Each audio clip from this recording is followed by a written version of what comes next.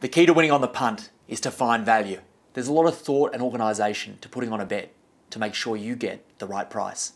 The exchange price is the closest to fair value, but the commission that you have to pay takes away some of that value. The bookies, they have significant percentage in their favour.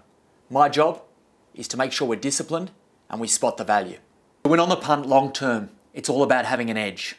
Join me at tomwaterhouse.com and let me help you become a better better.